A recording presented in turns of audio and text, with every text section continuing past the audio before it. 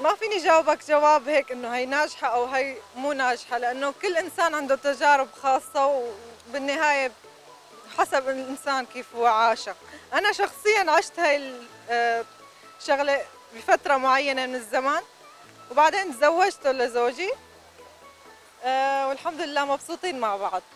بس في ناس وقت بيكونوا خلال العلاقة هي من خلال التواصل الاجتماعي بخلال هاي الفترة بيكون كل شيء تمام عسل وسكر وكل شيء حلو بس وقت يتزوجوا أو يصيروا مع بعض وتصير الحياة العملية بيتفاجئوا بشغلات ما كانوا شايفينها لأنه أكيد مليون بالمية.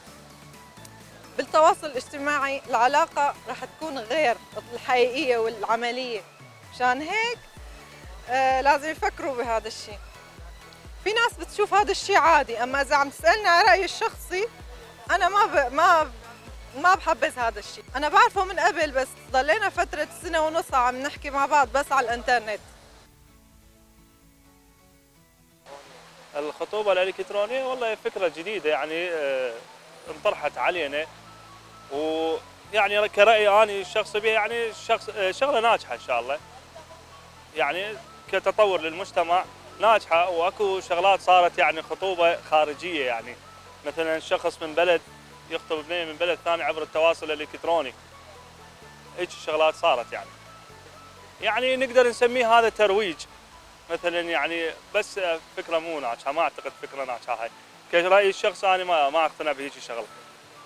يعني الشخص لازم إنه يشوف خطيبته يعني يشوف اطباعها يشوف شنو اتجاهاتها لازم يطلع عن شريك حياته.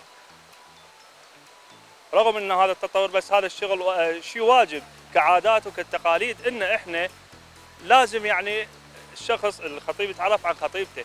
لأن هو الزواج توافق بين الشخصين. فمن الضروري إنه هذا الشيء يصير.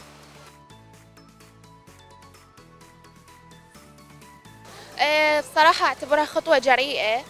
أو بها مجازفة نوع من المجازفة. هاي العلاقات مو مثل العلاقات اللي تكون face to face ممكن 90% احتمال من عندها تفشل. احتمال صغير إنه تنجح. وأني برأيي إنه يعني ما أنصح إنه يتخذون هاي الخطوة. أفضل إنه الشخصين يلتقون بالواقع أفضل. يعني يكون تعارف بيناتهم أحسن من المواقع التواصل الاجتماعي. تعرف هسه بوقتنا صار صاروا يعتمدون هواية على مواقع التواصل الاجتماعي وأغلب وقتهم عليها فمو كل شيء عليها حقيقي مثل مثل الواقع. فما أنصح إنه تكون العلاقة أو التعارف يكون على مواقع التواصل الاجتماعي أفضل يكون على الحقيقة أفضل يعني.